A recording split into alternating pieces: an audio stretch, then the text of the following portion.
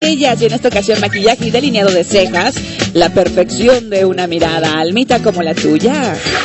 Mirada coquetona, ¿verdad? Porque por ahí dicen que por la mirada, bueno, con la mirada puedes cautivar a las personas, hombres y mujeres que tú desees en la vida. ¿Será cierto? Pero bueno, hay que echarle una ayudadita y una manita. Y para echarnos una ayudadita está con nosotros nuestra querida Coco, que nos va a enseñar y a demostrar cómo es que debe ser un perfilado correcto de ceja, un rellenadito de ceja correcto también, y además, pues el tamaño perfecto. ¿No es así, mi querida Coco? ¿Cómo Así, estás? Por supuesto que sí, muchas gracias. Mm. Contentísima porque fíjense que hemos estado hablando del perfilado de ceja también y nos hemos enfocado también en cejas un poquito tupidas, pero ¿qué pasa con nuestras amigas que tienen su, su ceja muy delgadita o muy güera? ¿No? Entonces, Que ¿qué vamos no a hacer? Que casi no se ve, pero aunque no lo crean en el maquillaje, aunque sea el cabellito güero, de repente sí nos va a cerrar es- es- espacios o nos va a abrir espacios dependiendo de lo que nosotros querramos. Vamos a tomar la medida, fíjense muy bien, esto mis queridas amigas ya se lo saben, pero lo vamos a repetir. Vamos a tomar un pincel que tome, que salga desde la letilla de la nariz, pase por el lagrimal y ahí, hasta de aquí hacia adentro no debe de haber cabellitos, ¿ok? Si los hay, en este caso, fíjense bien. Vamos a apoyarnos con un lápiz blanco. Fíjense bien, voy a dejarlo aquí para que vean la punta. Una puntita blanca, muy blanca. ¿Por qué es importante que lo tengamos? Porque es mucho más fácil que no te pases. ¿Ok? Ahora sí, señora, no se pase, por favor. No se bien. pase de la ceja, ¿verdad? Así es. Lo vamos a marcar. Es un hilito. Fíjate bien. O sea que hasta ahí Una debe de rayita. estar. Hasta aquí debe de estar. ¿Ok? Muy bien. Fíjate muy bien. Nosotros vamos a ver que en la parte del iris tendría que estar nuestro arquito. ¿Ok? En la parte media. En la parte media. ¿A cuánto así? Así es. Ahí debe Y estar. vamos a bajar acá. Aquí hay muchos cabellitos güeros. Aquí vamos a marcar también, ¿ok? Entonces, lo que nosotros queremos marcar con este lápiz es exactamente en dónde tiene que empezar tu ceja y dónde tiene que terminar. ¿Dónde va a terminar? Vamos a tomar la siguiente medida también en la letilla, pasando por la comisura. Aquí debe terminar tu ceja. O sea que la Quiere decir que en el caso de nuestra modelo le falta un poquitito más que tengamos que rellenar Ah, aquí. ¿ok? Si tú eres de ceja delgada, haz estas dos medidas, acuérdate muy bien. La primera, aquí mismo la segunda, y esa es tu medida exacta. A veces nos encanta la ceja de la vecina, nos encanta la de la comadre. ¿Qué crees? Vamos a ver la tuya, eso es lo más importante. A mí la ceja de almita, bueno, me encanta. Ay, muchas Pero gracias. nuestros ojos son muy diferentes. Entonces, vamos a enfocarnos. Llévate hoy de tarea, amiga, que tienes tu ceja delgada. Vamos a tomar estas medidas y entonces vas a enfocarte a lo tuyo, ¿sale? Y entonces el día de mañana vas a decir, esa mirada, bueno, conquistará muchos corazones. Muchos ¿verdad? corazones, Y como bien lo fíjate bien.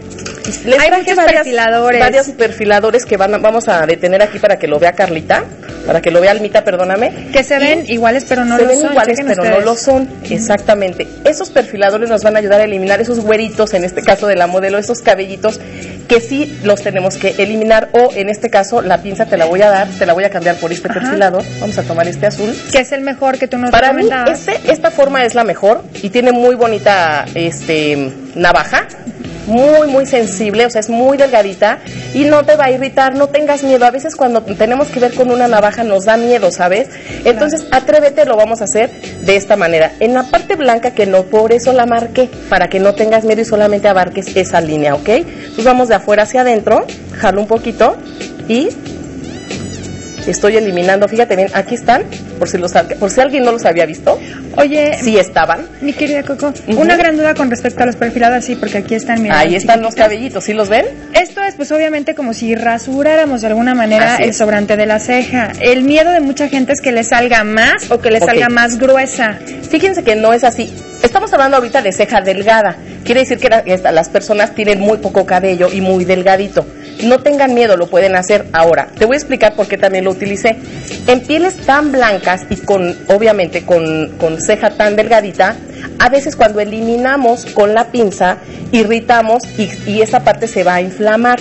¿Ok? Ojo, cuando tú hagas este Terrible. diseño, por favor, no lo hagas media hora antes de que te vas a ir a la cena. Lo tienes que hacer un día antes al menos, porque esa área se va a inflamar de cualquier manera, ¿no? Entonces, si tú utilizas la pinza, está bien, la podemos utilizar y acuérdate, vamos a utilizarla al sesgo, así como la estoy poniendo, y bajarlo hacia afuera. Ahorita ya no tengo mucho que jalar porque ya la eliminé. ¿Ok? Aquí está, pero tú vas a utilizar tu pinza en este sentido. Y jalo. ¿Ok? Me encanta depilar la ceja, pero ya hay veces que es tan- yo tengo tanta ceja, Coco. O sea, sí tengo como para cuando me la perfilo, me la delinean, por así Sí, decirlo. pero si Lo hacen necesitas- con cera. Claro, pero ya, si yo neces- sí tengo mucho.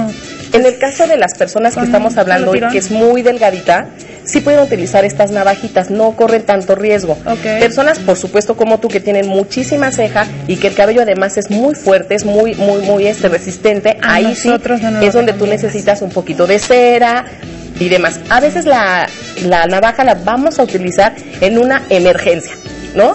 Híjole, ya llega la cita y ves la ceja, bueno, mm, quitamos tres y ya, no pasa nada. Pero para las personas que el día de hoy nos estamos enfocando, ceja delgada, güera, ¿no? Sí lo podemos utilizar porque estamos eliminando realmente muy poco cabello.